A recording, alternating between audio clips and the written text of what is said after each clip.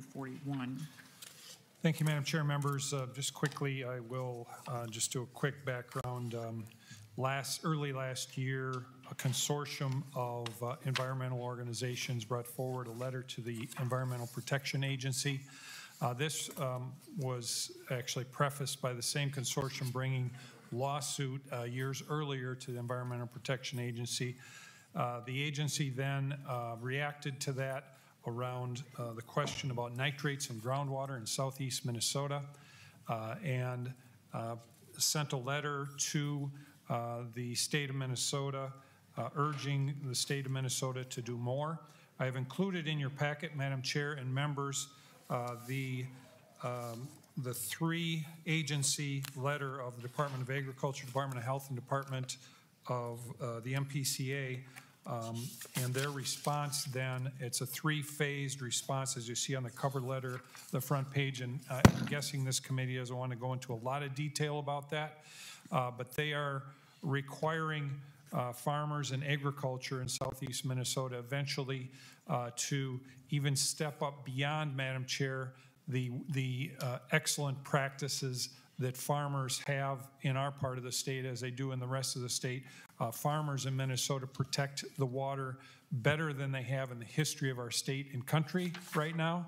Uh, But they are even being told and asked uh, through these actions uh, to do even more. So our options at this point uh, legislatively, if we do anything uh, in addition to what the agencies are doing, Madam Chair, amount to, we can either provide a carrot for farmers in these targeted areas with uh, geology that is um, uh, more conductive to the groundwater than the geology in the rest of the state is. Um, So uh, certainly the farmers that farm on that geology uh, farm as well as the farmers that are not on that geology. Uh, But um, they happen to be on a geology that, that provides a different set of circumstances. So we can provide a carrot or a stick. This is a small carrot. That's what we have in front of us. I'll run through the bill, and then Mr. Laurie uh, can talk on behalf of a consortium of ag organizations that support the bill.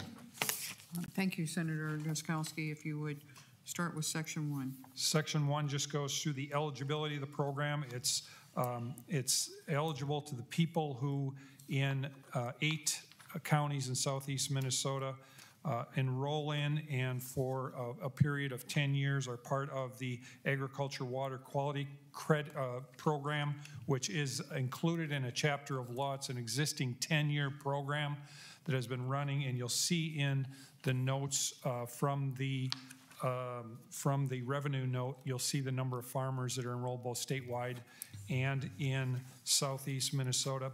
It's a $5 credit, um, and that's included in section one, the credit per reimbursement. acre.